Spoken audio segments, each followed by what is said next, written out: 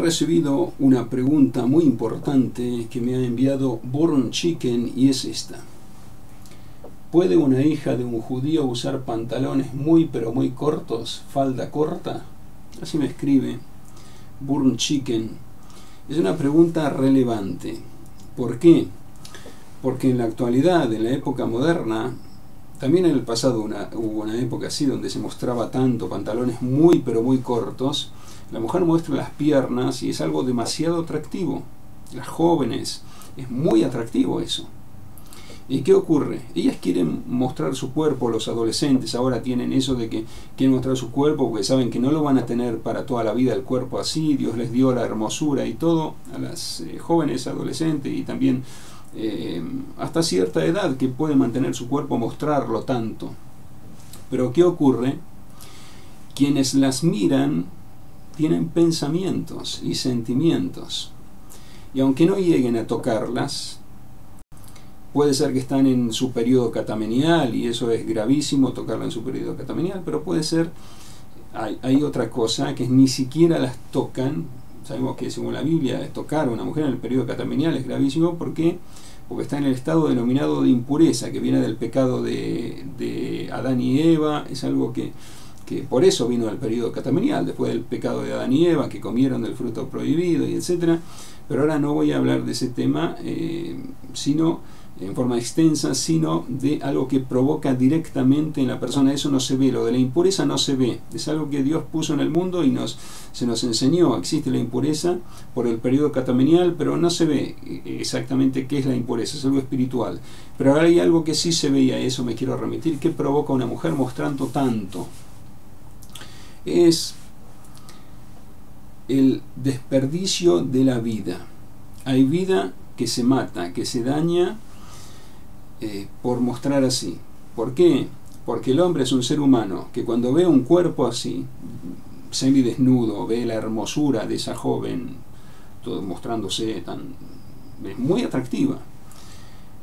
Cuando va a la casa puede ocurrir cualquier cosa. Y si no ocurre cualquier cosa, puede ocurrir que a la noche, cuando está durmiendo, él se acostó pensando en eso que vio, en esa hermosura que vio. Se acuesta con ese pensamiento y sueña de noche, sueña con, esa adolescente que vio, con esa joven que vio, con todas sus piernas y, toda la forma, la recuerda y con eso sueña, duerme, sueña y le puede eh, venir una polución nocturna, que es común que le ocurra a ella después de haber tenido una visión así, después de haber visto eso. Y esas semillas, que es la polución, es el semen que sale, Dios para qué lo creó? para, que, para ser hijos, son semillas pequeñas, las semillas tienen que estar puestas en la tierra, en el manantial de la mujer. Y si salen así en vano, se pierden vidas, porque esas semillas ahora no se ve porque son pequeñas, se ve, es un líquido blanco que se ve que sale, pero con el microscopio se ve, son vidas, son, son seres vivientes que se mueven, tienen vida, y esos son potenciales seres humanos, y nosotros no sabemos cuál es el destinado a convertirse en un ser humano de todos esos que, que, salen.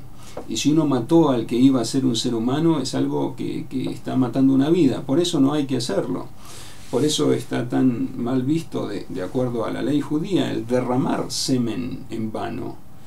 Como está escrito acerca de los hijos de Judá, que Dios no le gustó nada lo que hacía el, el segundo hijo de Judá, que derramaba, el, eh, no, no introducía su su semen dentro de la mujer. ¿Por qué? Porque sabía que el hijo que les iban a hacer iba a ser a nombre del primer hermano y no a nombre de él, por eso no quería levantar simiente a, nombre del hermano y derramaba su semen a tierra. Está muy mal visto por el Eterno. Eso es algo que, que son vidas, es, es matar vidas. No sabemos cuál de esos se va a convertir en una vida, en un ser humano. Y si uno lo mató, le, le impidió eh, realizarse, ser un ser humano a ese espermatozoide.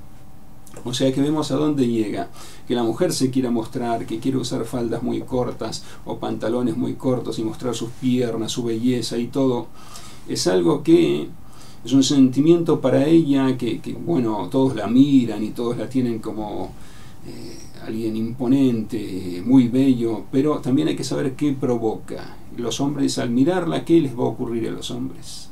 para pensar a la noche y lo más probable es que tengan una polución nocturna y ahí se elimina el semen que son vidas. Por eso hay que evitarlo si uno quiere cumplir con la ley de la Torá, evitarlo, no mostrar las piernas, aunque son tan bellas, no mostrarlas porque porque van a provocar pensamientos a los hombres de ese tipo y bueno, y, eso no, no, no, es bueno eh, eliminar vidas, como hemos mencionado. Eh, eso quien quiere hacer caso de lo que dice la Biblia, por supuesto. Eh, uno quiere que todos hagan caso de lo que dice la Biblia, pero es algo que Dios dio libre albedrío. Eh, la gente o cree o no cree, dio la libertad de creer o no cree. Ahora uno si necesita después, en el futuro, tiene, por ejemplo, eh, un hijo enfermo, una madre enferma, un pariente enfermo, Dios, por favor, ayúdame. Y uno no le hace caso a lo que Dios nos encomendó en la Biblia. Entonces, ¿cómo? Es un cortocircuito. ¿Cómo, cómo Dios le va a atender si, si esta persona no le hace caso a lo que Dios dijo? Haced esto por mí, no matéis, no matéis vidas y bueno, uno tiene que tratar de hacer caso para que en el momento en que necesite pedirle a Dios algo, Dios, ah, este sí, hace caso, está conmigo, me es fiel, ah, bueno, entonces le vamos a dar lo que pide. Eh, es posible, yo no, Dios es Dios, yo no puedo decir lo que va a hacer Dios porque Él decide, es el creador, pero quien tiene posibilidades, el que, el que hace lo que Dios quiere, su voluntad, eh, va a tener más posibilidades de que Dios haga la voluntad de uno, como está escrito en el Pirkei Avot el tratado de Pirkei Avot. Por eso es mejor em, hacer tal como dice la Biblia, por más que sea algo atractivo y que uno sienta, ahí como todos me miran, todo me, pero usar ropa recatada para qué? Para no tentar a los hombres, sino hacer que los hombres derramen semen vanamente en las noches, aunque sea involuntariamente, pero no es tan involuntario porque vieron eso durante el día. Y os contaré algo que quedó registrado en un libro que es increíble. Es increíble cómo alguien tan santo y tan sabio revela algo tan íntimo. Para algo será, para que entendamos que este tema tan importante. El rabí Yosef Caro, el autor del Shulchan Aruch, del Código Legal, el autor del Código Legal, el hombre que...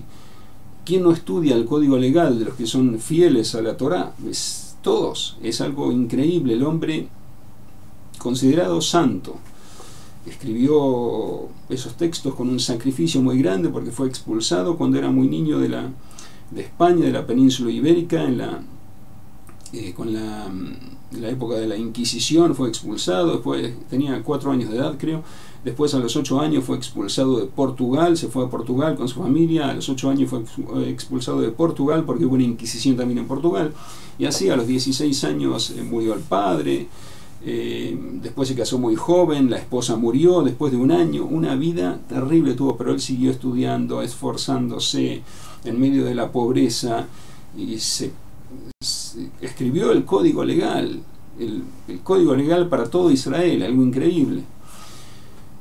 Ese hombre tan elevado espiritualmente escribió un libro que es Magid Mesharim, él tenía un ángel que se le revelaba y el Magid se llamaba así, y le explicaba cosas muy profundas de la cábala y todo tipo de cosas, y cosas de la vida personal de él. En ese libro, Magid Mesharim, el rabí Yosef Karo revela momentos de la vida de él íntimos, revelaciones increíbles. Esto es, es increíble que revele tan, tanto, cosas tan privadas de él. Y una de las cosas que revela es esta.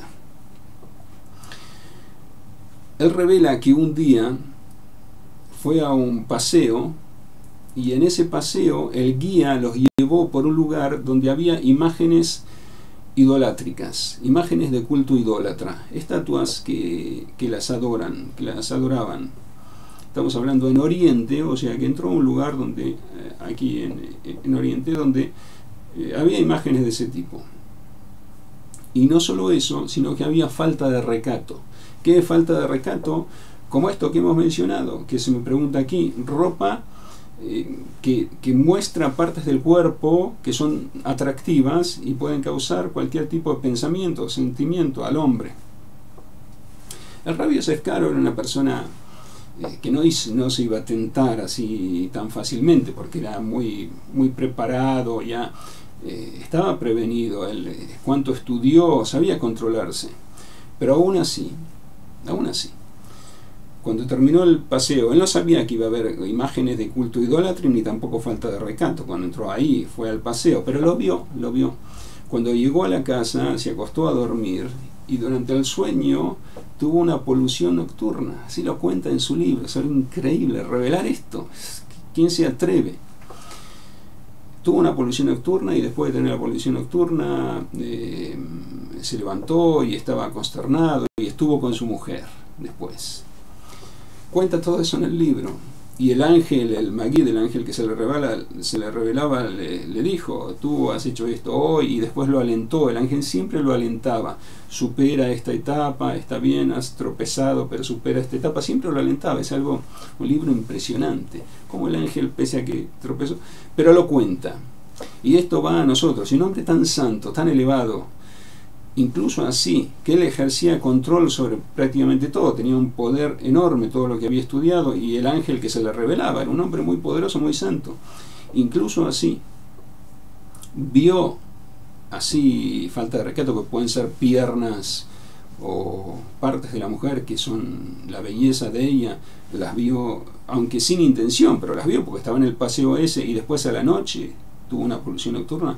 ¿Cuánto más una persona ¿Cuánto más? Una persona que no está en el nivel tan elevado del que no se puede controlar tanto, que muy fácilmente va a llegar a tener eso. Por eso es mejor cuidarse. Las mujeres no llevar tan descubierto todo, sino hacer lo posible por no tentar a los varones que vean esas piernas y ese cuerpo así, para que a la noche tengan una polución nocturna, desperdicien el, el semen, la simiente, sino que la simiente la guarden para introducir en, su mujer y tengan hijos con esa simiente, que esa es eh, la finalidad con la cual Dios creó a la simiente, introducirla en la mujer para tener hijos. Hasta aquí es la respuesta que puedo brindar acerca de este tema.